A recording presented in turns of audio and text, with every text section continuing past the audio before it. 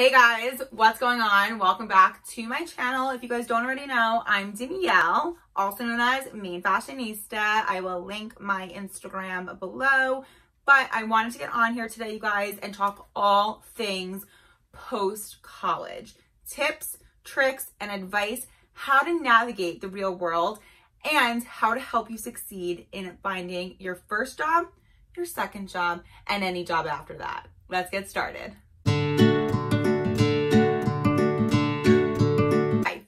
Off, you guys, congratulations. You did it. Four years. You have your degree, whether it's Bachelor in Arts, Science, Master's, whether this is like graduate school, whatever it is, you've accomplished it and now you're on to bigger and better things. Let me just start by saying it is a job finding a job.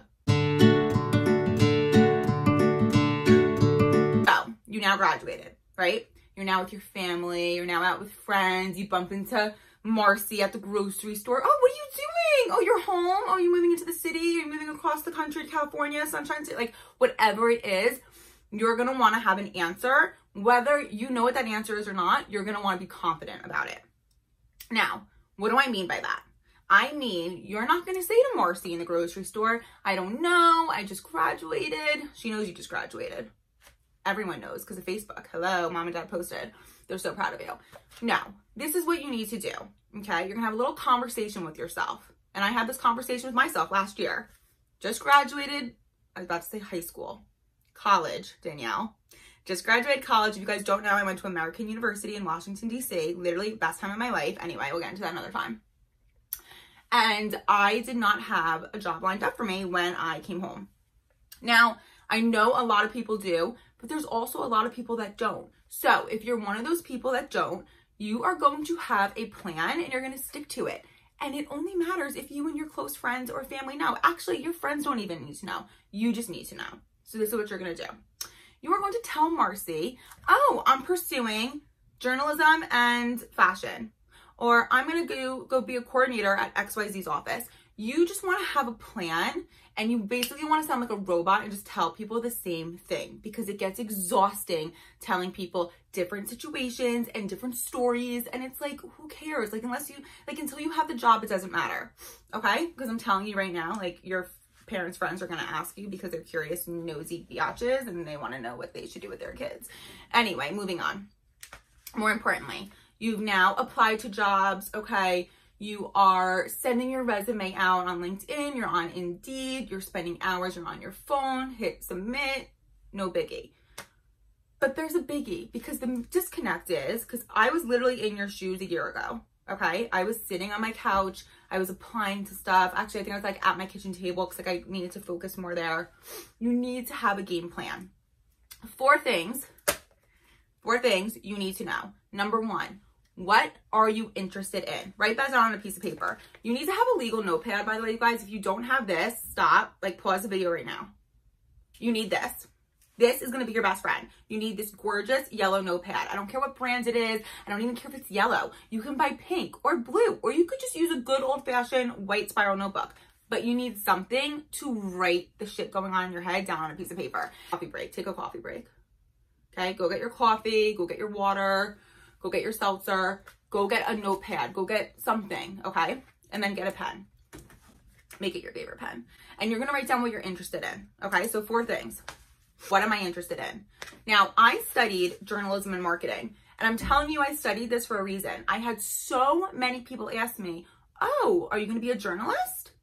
And my response would be, no, I'm not. And they would be like, what do you mean? You just studied journalism.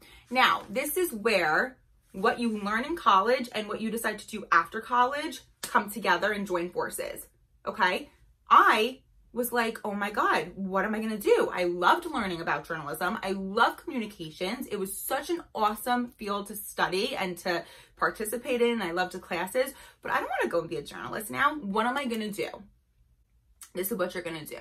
After you write down what you're interested in, you are then going to take the concepts, the ideas, the methods, the learning strategies, everything you basically learned in college, and you are going to take those tactics and you're going to apply it to something you're interested in. So I'm going to give you an example. Okay. I was interested in fashion. Still am. I love fashion. Passion for fashion, flowers, gorgeous. but I have sparkly, fab fabulous shoes up there you could see. So I had to have a conversation with myself and say, how am I going to take what I learned in journalism and apply it elsewhere? This is what I did. If you guys are familiar with communications or a journalism major, you would know that reporters and journalists, number one, all right, they have to be on time. There is no deadline of like five days. It's like, how fast can you turn the story around in five hours? So that means I'm efficient and I'm aware and cautious of my time.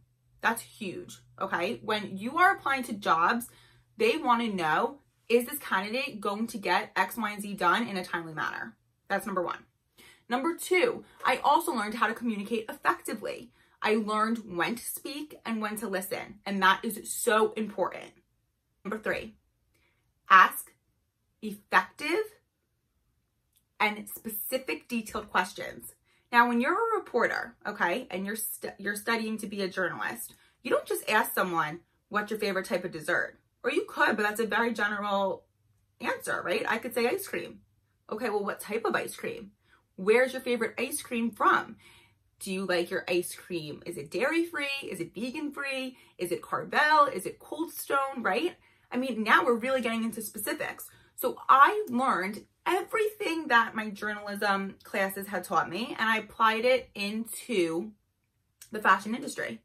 So I graduated college last year and I mean, I don't have to go into like my whole, you know, journey and finding a job, but I will tell you that when I was interviewing, I used those same methods and tactics to get me where I wanted to be. I knew that if I wanted to be this person doing this job, I had to represent that in some way. Now, how are you supposed to do that? I have no experience. I just graduated college a month ago. This is how you do it. You fake it till you make it. So write that down. That's number two. So number one, what am I interested in?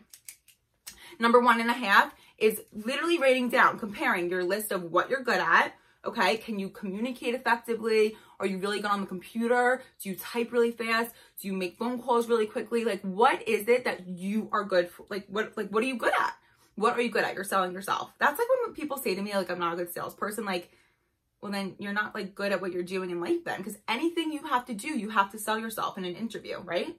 You're selling. Whether it's a product, a lip gloss, a software, yourself, you got to know how to sell yourself because no one knows how to sell yourself better than you. Okay, so number two, fake it till you make it. Yes, you need to write that down.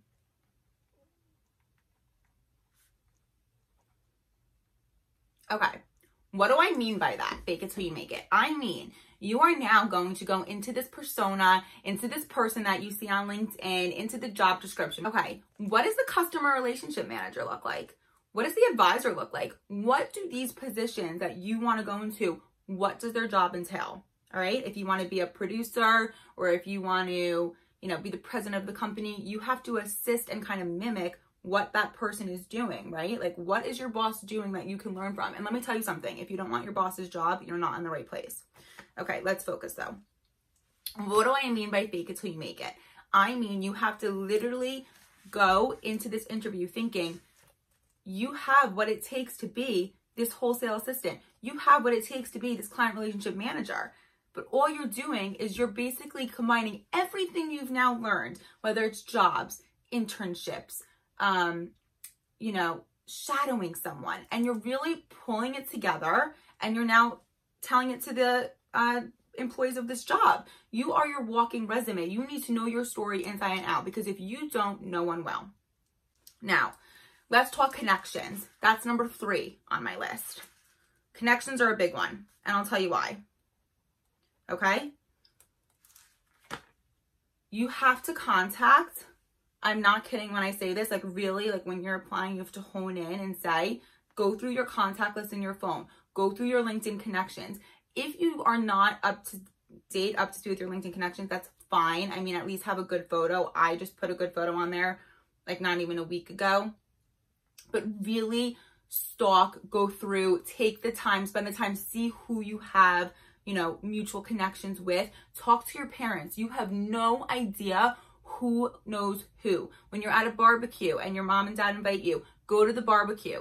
Take two hours out of your day instead of hanging out with your girlfriends and going shopping, get your nails done, or going out on a date with that guy and meet the person you don't know at the other end of the table. Go get a drink, talk to them.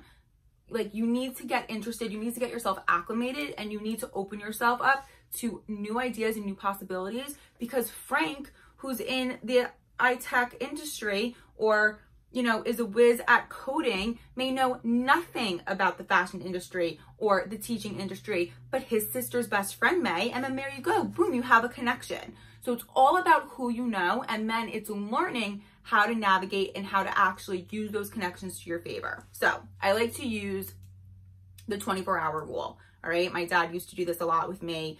End of my senior year at American, he was sending me left and right different connections this person knows this guy, this guy knows this person, whether it was PR, or marketing, it didn't matter. The rule of thumb was once my dad made the connection, okay, and a lot of people, like my dad, they work around the clock. So my dad was sending emails 11 o'clock at night, 7 a.m., no matter what it was.